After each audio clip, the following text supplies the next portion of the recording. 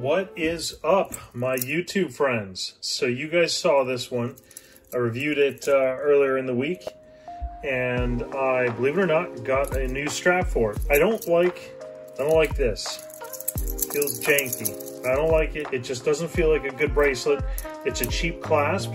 You know, it's not a horrible clasp, but it's just, it's kind of cheap.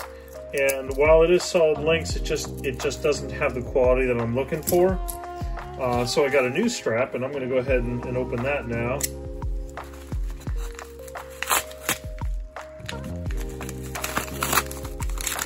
And I'm thinking that that's going to look a lot nicer.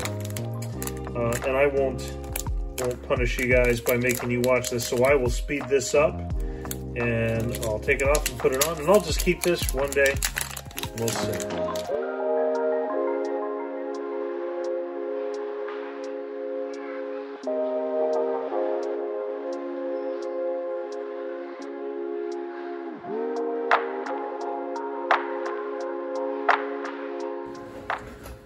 All right, there we have it. My opinion, this is a much nicer, much more usable bracelet than this thing.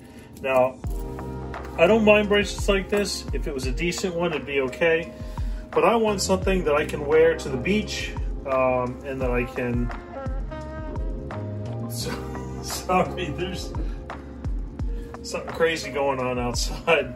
I, I live across the street from a park. I think I mentioned it. I'll show the picture there. But yeah, so there's always like trucks and and people playing. And so, you know, until I build my shop, that's what it is. Anyways, I love the look of this. I'm to put it on right now.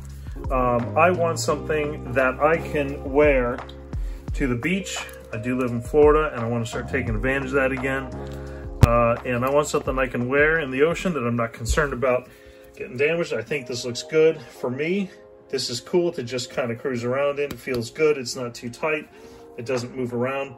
Uh, one thing I want to mention, I this is the first time I've actually worn this watch because I didn't even size it. The pip's already broken off. I don't know if you can see it. So, I don't know where it went. Um, not the highest quality watch, but I still like it nonetheless. It feels good. It's a good, it might be a little tight. I'm gonna have to break it in, but uh, I love these these straps. This was ten dollars, and it, it, feels great. Um, I've got one on my um,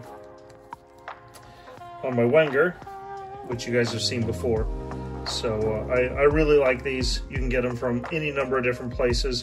They're like $10 and uh, they look good and it's nice. All right, let me know what you think uh, and put it in the comments below. Thank you.